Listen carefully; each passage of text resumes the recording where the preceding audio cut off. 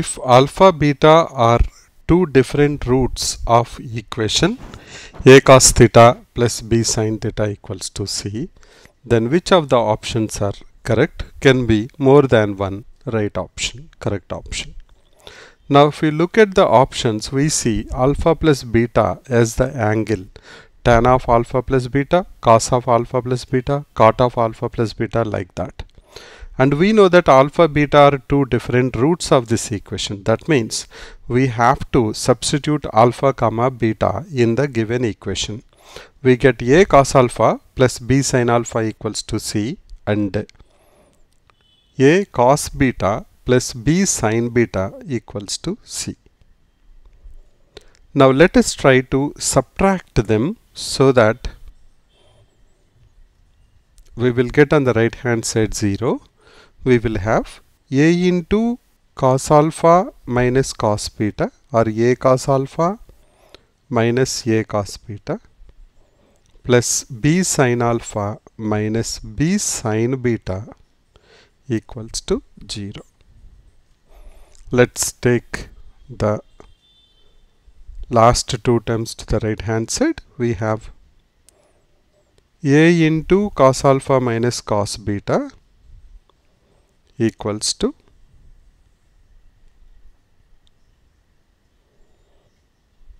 minus b into sin alpha minus sin beta. Now we know the formula for cos c minus cos d trigonometric ratios. We want to transform them from sum or difference to product. So it will be a into cos alpha minus cos b is minus 2 sine alpha plus beta by 2 multiply with sine of alpha minus beta by 2. Similarly, sine of alpha minus sine beta is 2 cos alpha plus beta by 2 multiply with sine of alpha minus beta by 2. We can see clearly that sine of alpha minus beta by 2 can be cancelled on both the sides and we can cancel 2 and 2 also. Then left left out to us is minus minus also we can cancel. Left out is sine alpha plus beta by 2 by cos alpha plus beta by 2 equals to b by a or a sine alpha plus beta by 2 equals to b into cos of alpha plus beta by 2 or can we write it as tan of alpha plus beta by 2 equals to b by a.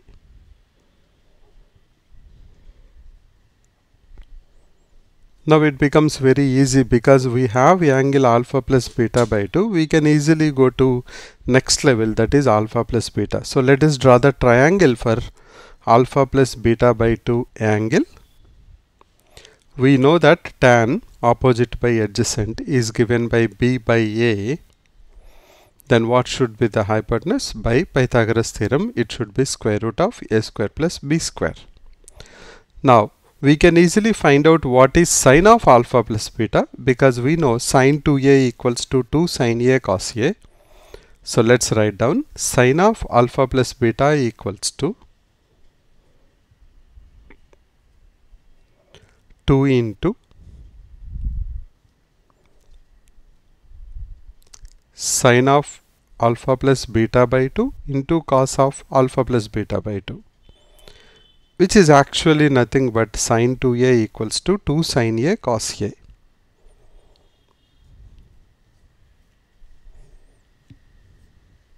We know the values of sine of alpha plus beta by 2 and cos of alpha plus beta by 2. Let's go ahead and substitute them. 2 into b divided by square root of a square plus b square multiply with a divided by square root of a square plus b square which is equals to 2ab divided by a square plus b square.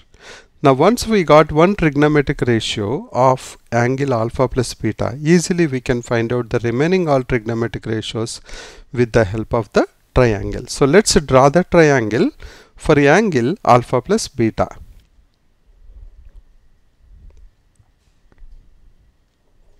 Let's draw a triangle for angle alpha plus beta.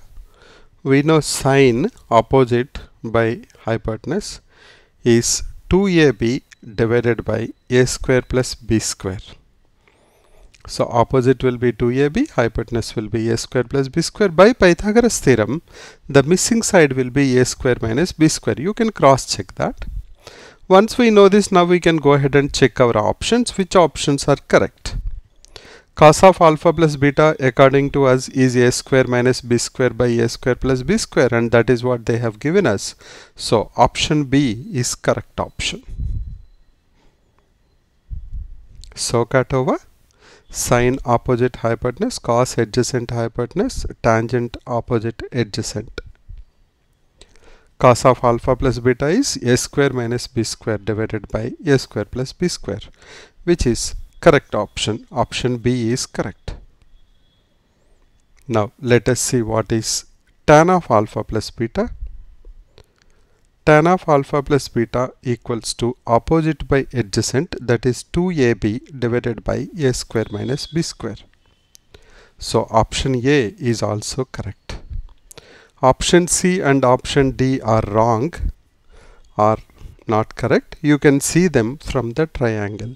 So the correct options for this particular problem are option A and option B.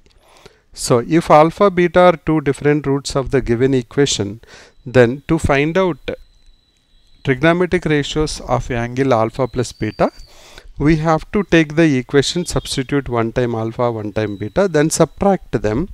We get trigonometric ratios of sum or difference. You transform them into product so that you can get alpha plus beta by 2 from there we use multiple levels. Go to the next level alpha plus beta by using the formula sine 2a equals to 2 sine a cos a. Then you get the trigonometric ratios of alpha plus beta. We are able to get sine of alpha plus beta. Then immediately we can draw the triangle and we can find out the missing side and that's how we can find out remaining all trigonometric ratios of angle alpha plus beta